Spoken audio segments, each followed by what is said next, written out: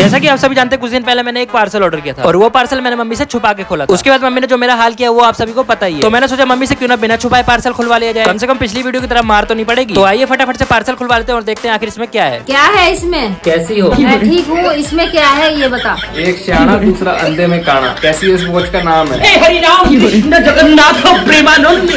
और इसे मार खाते हुए देखकर तो मेरी हालत खराब होने लग गई। इससे पहले कि मेरी बारी आई फटाफट से पार्सल खुलवा लेते हैं। और मैं आपको बता दूँ कि इस पार्सल में मैंने ये वाली वॉच ऑर्डर करी थी। और ये वॉच थोड़ी सी महँगी तो है पर मुझे इस बात का डर लग रहा है कहीं मम्मी को बस पता न चल जाए। अरे मम्मी ये उल्टा पहन रहे हो आप। बचपन में पेंट में हक देता था आज मुझे सिखाने चला।